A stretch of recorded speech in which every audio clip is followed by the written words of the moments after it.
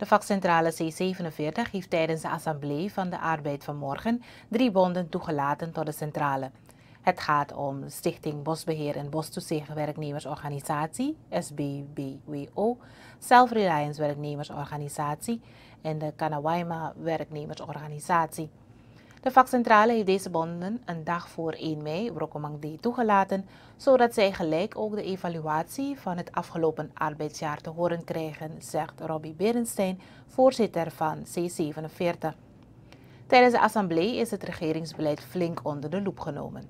We kunnen kort zeggen, we hebben gezien de ontwikkeling van de verschillende indicatoren Overigens, ik was vergeten te zeggen van heren, een van de indicatoren is ook heren, veiligheid in de samenleving. Vast aan het. Maar het beleid van regering, dat hebben we tig keren besproken.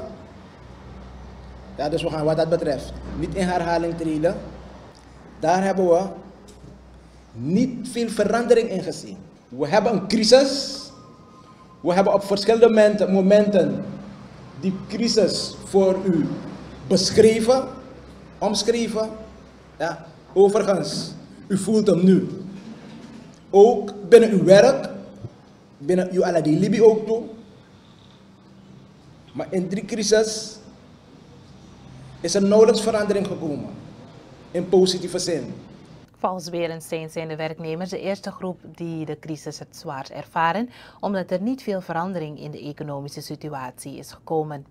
Berensteen merkt verder op dat er wel een groei te merken is binnen de vakcentrale C47.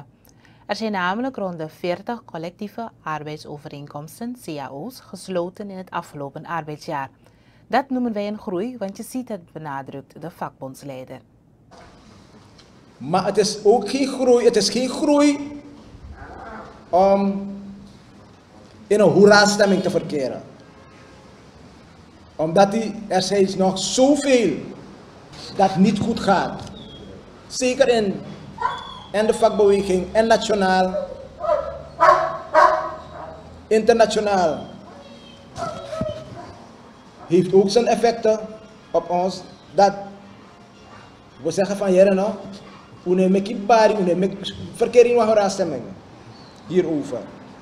Als we verder kijken naar de ontwikkeling van arbeidsverhoudingen, moeten we voor de correctheid wel aangeven dat op nationaal niveau we de uh, implementatie hebben gehad van een aantal nieuwe wetten. Rabbi Berenstein, voorzitter van de vakcentrale C47. Hij sprak vanmorgen tijdens de Assemblee van de Arbeid, waar er een evaluatie is gemaakt van het afgelopen arbeidsjaar.